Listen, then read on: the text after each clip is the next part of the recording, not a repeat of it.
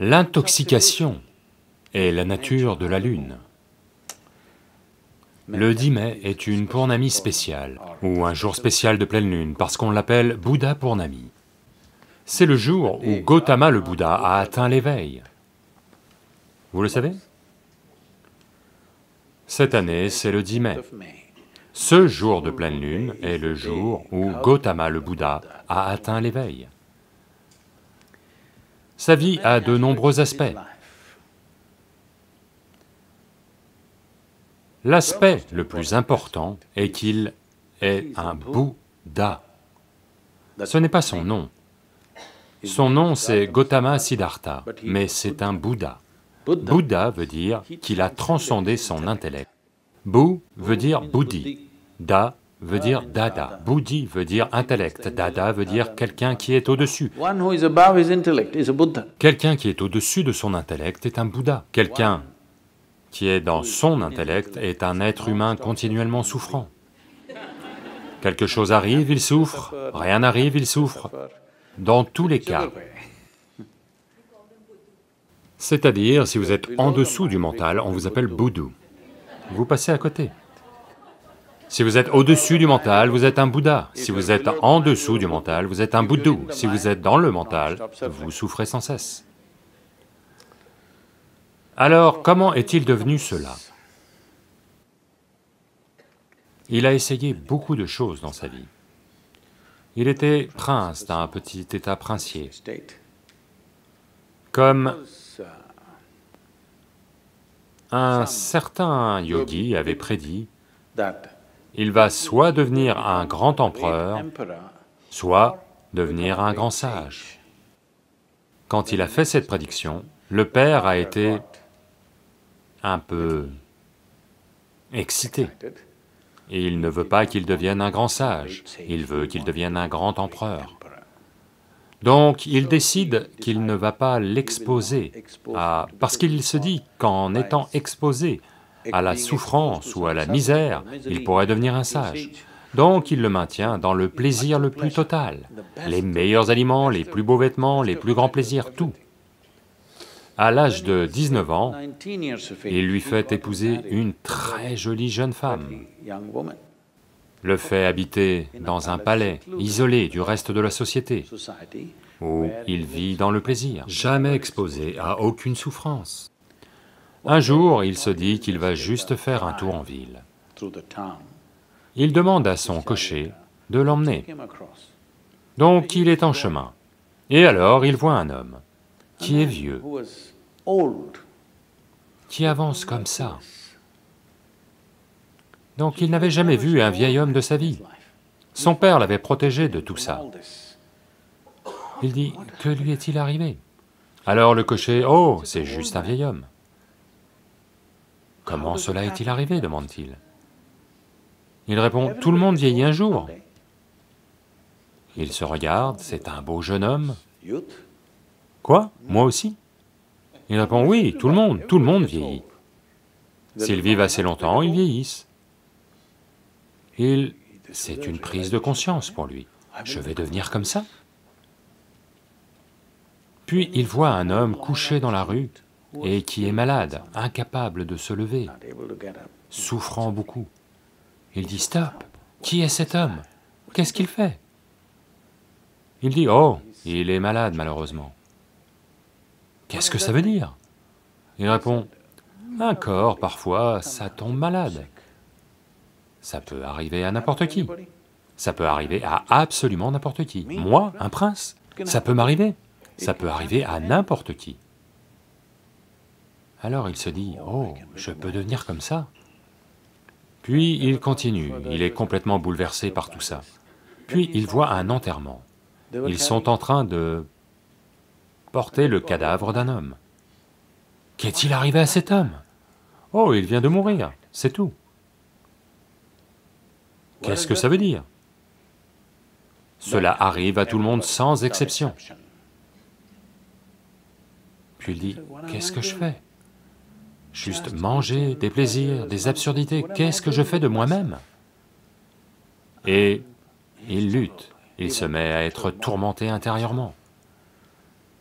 Tout ceci, tout à coup, être un prince et ses plaisirs et ce palais, soudain, tout s'écroule pour lui.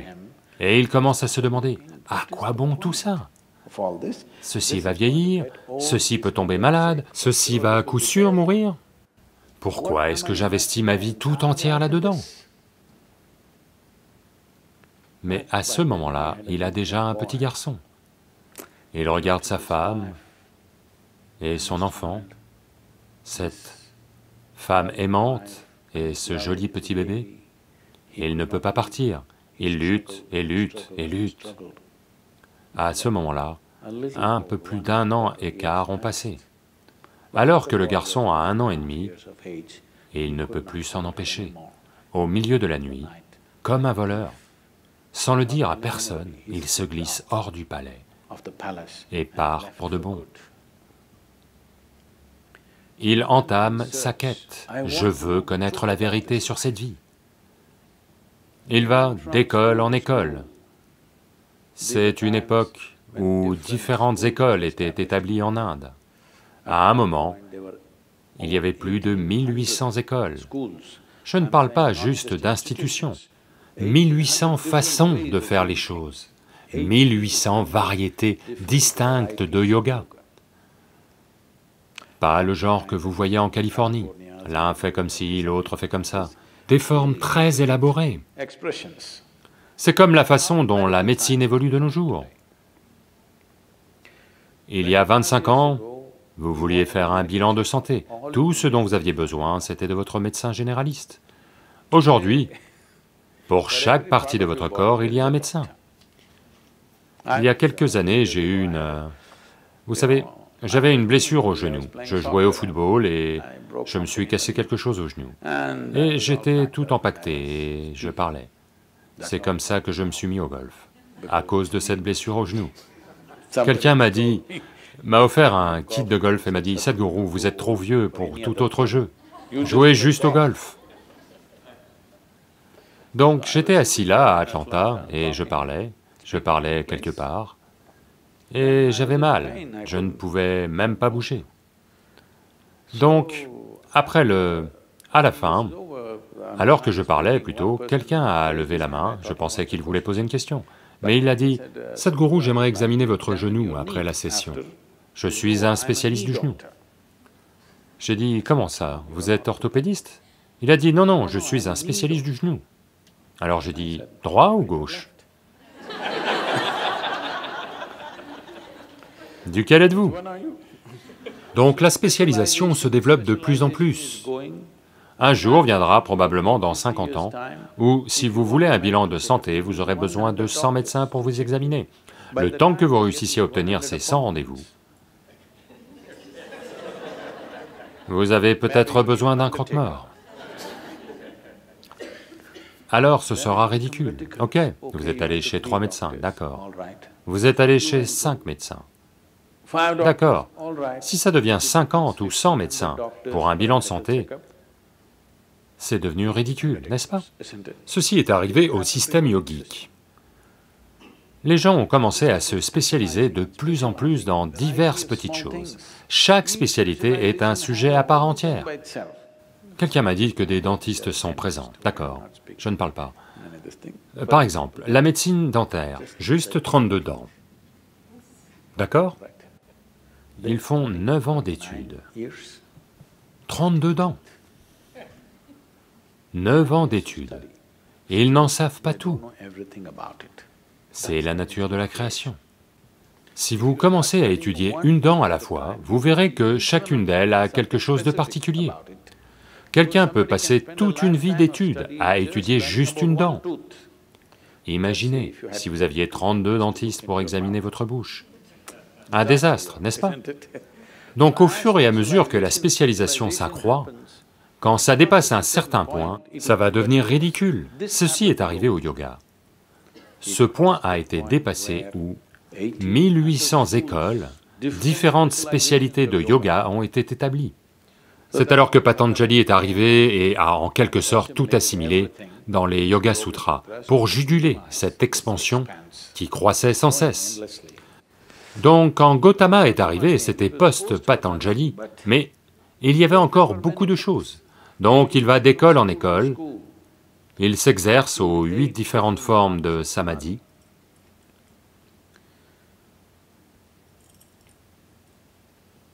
On parle de samadhi, d'accord? Il s'exerce aux huit différentes formes de samadhi. Il voit que toutes sont des expériences merveilleuses, mais qu'elles ne l'ont tout de même pas libéré. Donc dans cet état, il marche en tant que samana. Il existe un certain système de pratiques appelées samana. Leur pratique fondamentale est celle-ci. Ils ne demanderont jamais de nourriture. Vous ne devez pas vous mettre à chercher de la nourriture, parce que ils veulent vaincre l'instinct de survie fondamentale. Quoi qu'il arrive, vous êtes toujours en quête de nourriture, veuillez comprendre cela. Vous pouvez compliquer les choses de tant de façons, mais fondamentalement, le fait que vous parliez autant de l'économie veut dire que vous ne pensez qu'à la survie tout le temps, n'est-ce pas? Une survie glorifiée, mais c'est toujours de la survie. Donc une sadhana fondamentale pour eux, c'est vous ne suivez jamais votre instinct de survie. Vous continuez simplement à avancer. Donc les samanas ne faisaient que marcher, sans jamais demander de nourriture. Mais la culture était sensible. S'ils voyaient une personne spirituelle marcher, les gens cuisinaient chez eux et ils couraient après, et le servaient où qu'il soit, parce qu'ils savaient qu'ils n'allaient pas demander de nourriture. Aujourd'hui, si vous devenez un samana, vous allez marcher jusqu'à en mourir. En ces temps, les gens étaient sensibles à sa sadhana et répondaient. Donc il y avait des milliers de samanas parcourant le pays. Donc Gautama devient un samana. Et même si vous ne demandez pas de nourriture, vous allez passer près d'une ville pour que la nourriture arrive. Mais Gautama a pris ça trop au sérieux et a juste marché. Et il n'a plus que la peau sur les os, plus que des os et une enveloppe de peau. Il est devenu comme ça. Puis il arrive à un endroit où il y a une rivière appelée Niranjana. Malheureusement, cette rivière a disparu maintenant plus de rivière. Juste 50 à 80 cm d'eau, qui se déplaçait peut-être un peu rapidement. Il y entre et, au milieu de la rivière, il n'a pas l'énergie de traverser. Il y a une branche d'arbre, une branche morte, il s'y accroche. Il n'a pas la force de faire un pas de plus, mais il n'est pas du genre à lâcher prise. Il tient bon, on ne sait pas combien de temps. Les gens disent très longtemps. Peut-être était-ce deux minutes. Quand vous vous sentez si faible, ces deux minutes ont pu lui sembler des années. Puis, alors qu'il s'accroche, il réalise simplement, qu'est-ce que c'est que je cherche? Pourquoi est-ce que je parcours tout le pays, allant d'école en école, apprenant ceci, apprenant cela? Qu'est-ce que c'est que je cherche? Alors il réalise, il n'y a vraiment rien. Cette vie est active. Tout ce que j'ai à faire, c'est juste éliminer les obstacles qui ne me permettent pas d'en faire l'expérience.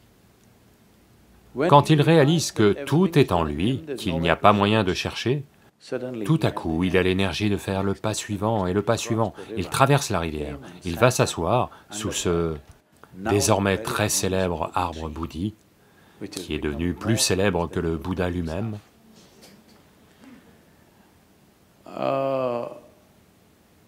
Une partie de l'arbre, un vestige ou un, descendant de l'arbre existe toujours à Bodh Gaya.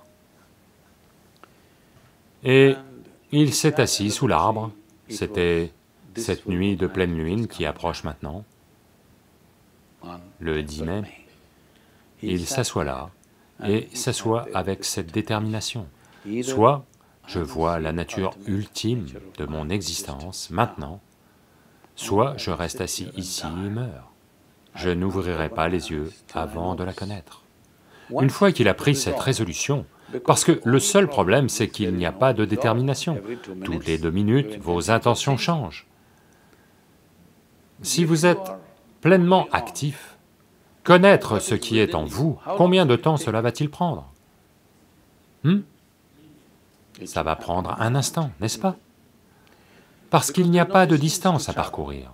Le temps est une quantité qui n'est nécessaire que lorsqu'il y a une distance à parcourir, n'est-ce pas? S'il n'y a aucune distance à parcourir, si je vous demande combien de temps vous faut-il pour vous asseoir ici, vous êtes déjà assis. C'est déjà là, ça ne prend pas le moindre temps. Donc vous êtes déjà en vie et actif. La réalisation ne prend pas le moindre temps, parce que vous n'avez rien à faire de particulier. Au moment où il voit ça, il atteint l'éveil complet, et la lune brille. Et il n'a pas mangé comme il faut, depuis bien des mois, des années à vrai dire. Il a été un samana pendant quatre ans. Et les gens autour de lui, il avait rassemblé environ cinq disciples, je pense. Ces disciples se disent, c'est un vrai, parce qu'il ne mange pas, il est vraiment strict. Et ils voient qu'il est dans un certain état, un état exubérant, et ils peuvent voir que son visage est illuminé. Alors ils attendent qu'il ouvre les yeux et leur donne un enseignement. Il ouvre les yeux, les regarde, sourit et dit, « Cuisinez quelque chose, mangeons. » Ils sont complètement dépités, ils se disent qu'il a perdu la tête. Ils ont marché avec lui pendant quatre à huit ans, alors qu'il n'avait rien d'autre qu'une torture. Quand il a atteint l'éveil, ils l'ont quitté. Parce qu'il voulait entendre quelque chose de sévère. Il a dit, cuisinez quelque chose, mangeons. On a perdu notre temps.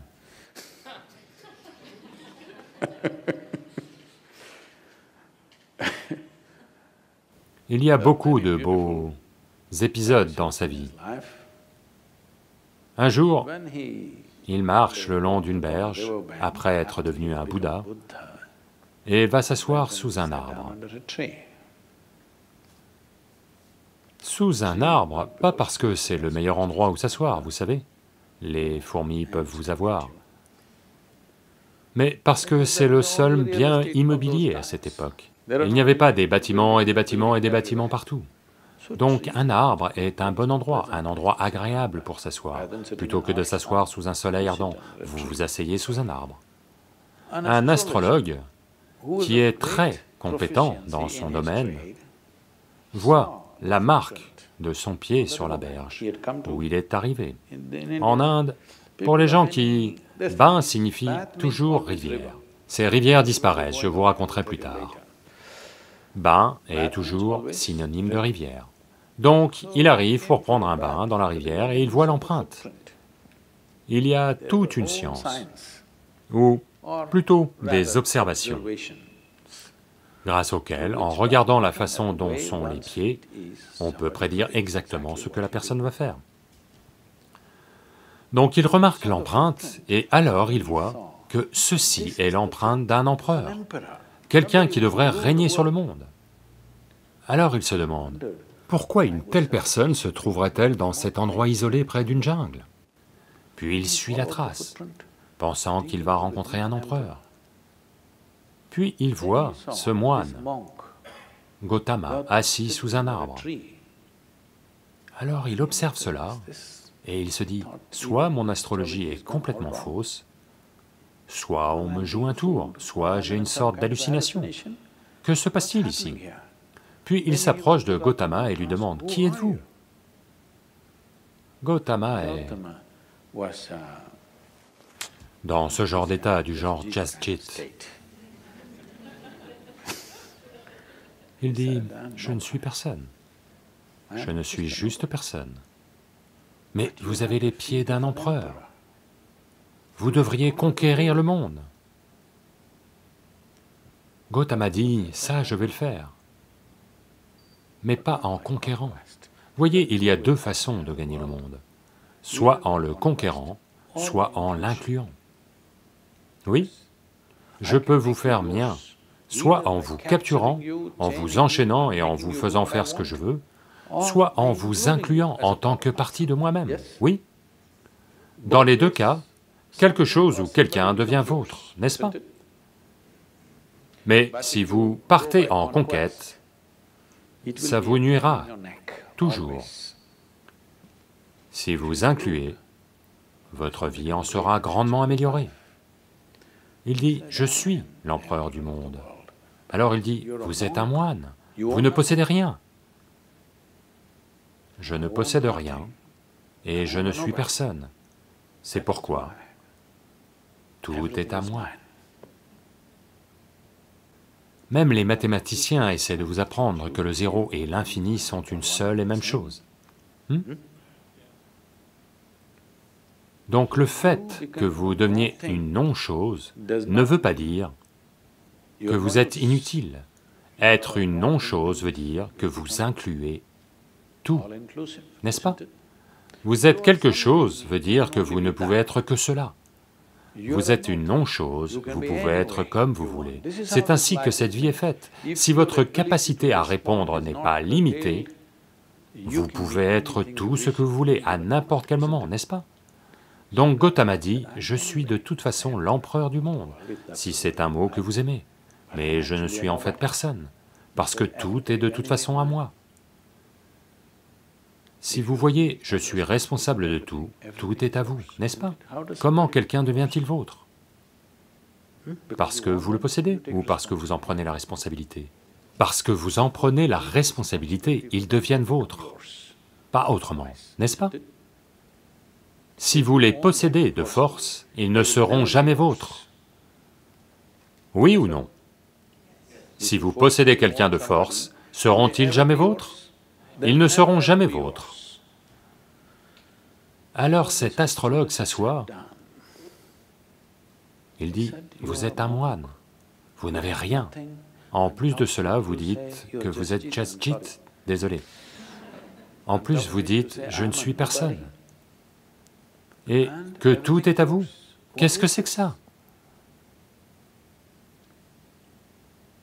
Gautama dit, venez, j'ai une solution pour vous. Vous êtes occupé à faire des prédictions sur la vie. J'ai un plan. Pourquoi faites-vous des prédictions sur la vie? Vous êtes incapable d'établir un plan et d'exécuter un plan. C'est pour ça que vous vous rabattez sur des prédictions, n'est-ce pas? Oui ou non? Si vous êtes capable d'établir un plan et d'exécuter un plan, vous rabattriez-vous sur des prédictions? Non. Donc Gautama dit, vous êtes occupé à faire des prédictions. Je suis ici, j'ai un plan. Venez, devenez une partie de mon plan. Nous allons faire se produire autre chose. Vous devez devenir une partie de ce plan. Nous pouvons faire se produire quelque chose de merveilleux. Ce même monde, ce même monde peut être transformé en paradis si tous nous suivons un plan paradisiaque, n'est-ce pas? Oui ou non?